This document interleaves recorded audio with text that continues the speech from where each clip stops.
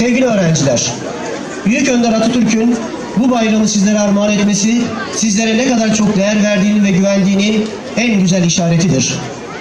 Sizlerin de bu güvene layık olmak için var gücünüzle çalışacağınızdan şüphemiz yoktur.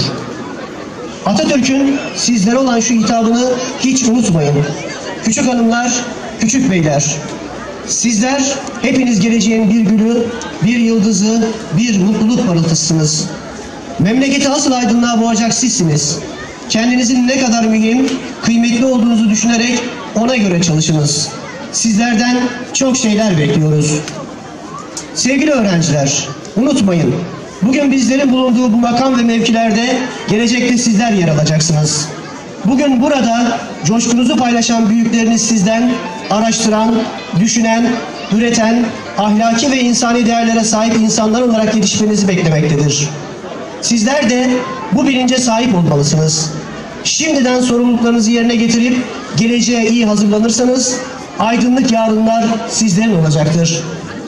Bizler ihtiyarlığımızdan önce gençliğimizin, hastalanmadan önce sıhhatimizin, fakirliğimizden önce zenginliğimizin, meşgul zamanlardan önce boş vaktimizin, ölümden önce hayatımızın kıymetini nasıl bilmemiz gerekiyorsa, esaretten önce de bağımsızlığının, bağımsızlığımızın kıymetini bilelim.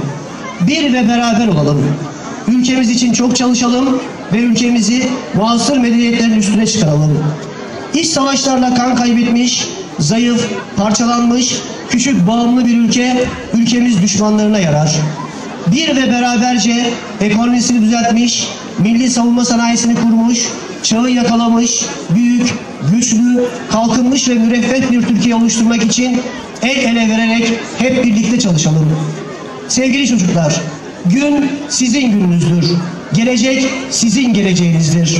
Sevginin, kardeşliğin, hoşgörünün, barışın hakim olduğu bir dünyada el ele yaşamak ümidiyle hep...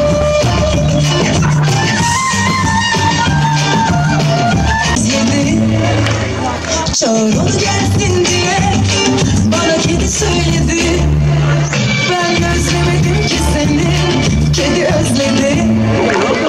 Chorona